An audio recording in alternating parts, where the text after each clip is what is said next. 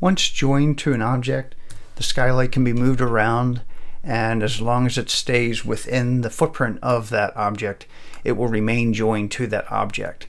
Here I'm moving the skylight over to the right in a side view up further on the roof and it will stay joined to that object and keep itself on the surface of the object when it's regenerated. And that also includes the hole cutting, as you can see here, also moves along with it.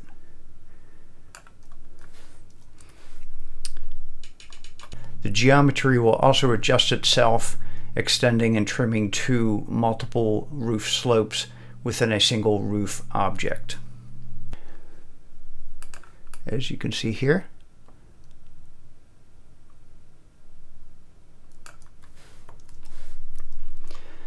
And also if the object is actually dragged outside the footprint of the roof object,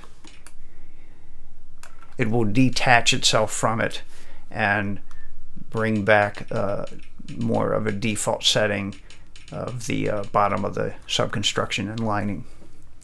Um, and if it's brought over top of the uh, roof again, as long as it's within its footprint, it will join itself back up to it as long as the auto join option is checked on.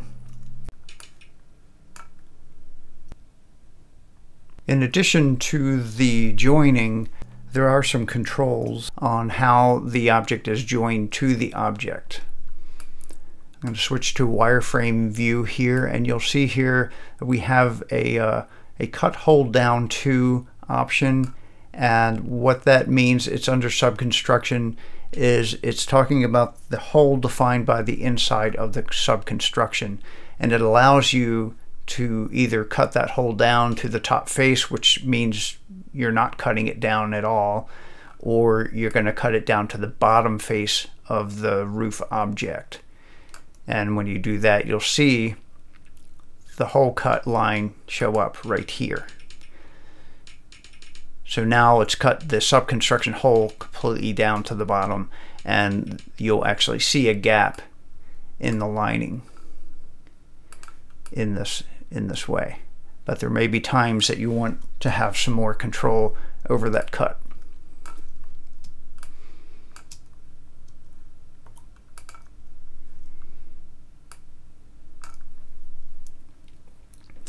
Um, in addition, this join lining to option allows you to keep the lining trimmed to the top face or the bottom face of the roof object.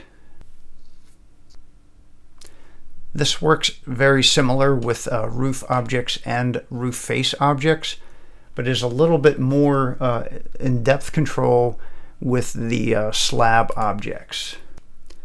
Here's a side view of a uh, skylight in a slab object, and we have the slab uh, containing five different components.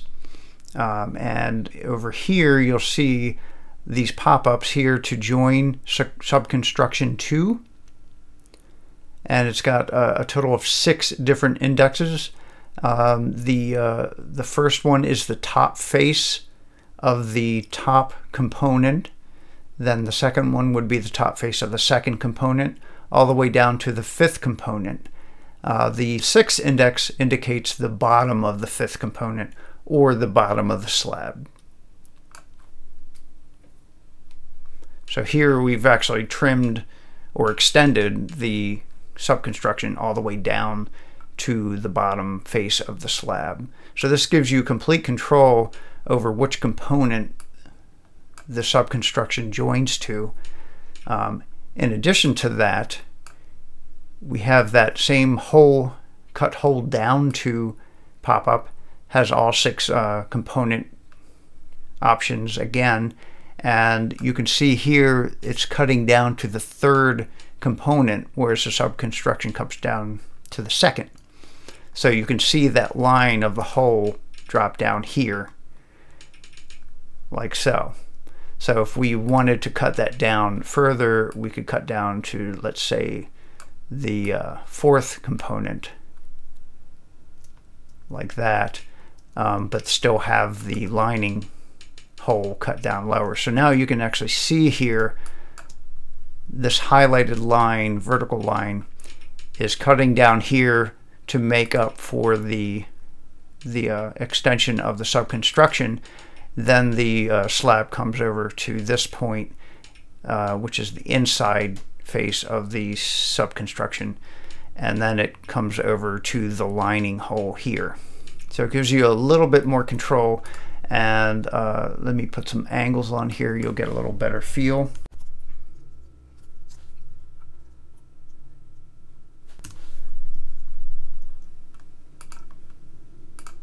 And let's cut into it and uh, render it. So this gives you a good feel for what it allows you to do okay so uh, when inserting to the slab, you have more options, um, and that's because slabs have a little more capabilities than roof face and roof objects. So um, we hope in the future that uh, the uh, roof objects will catch up with the same uh, capabilities. Not only can a skylight be joined to a single object, but the lining can actually be joined to a separate object. This allows for more complex situations where you may have a, a, a roof inserted object and you want the lining to come down to a ceiling below.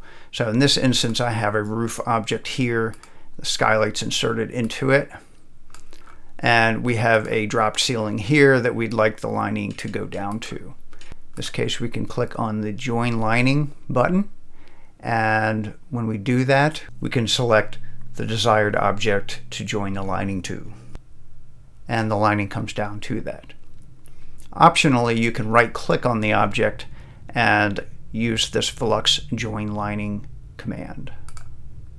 So when we join to both of those objects, now we've got holes that are actually cut in all objects uh, joined to the skylight, allowing you to see completely through. The subconstruction can also be joined to other objects using the Join Subconstruction button, and uh, that also has an equivalent contextual menu command here.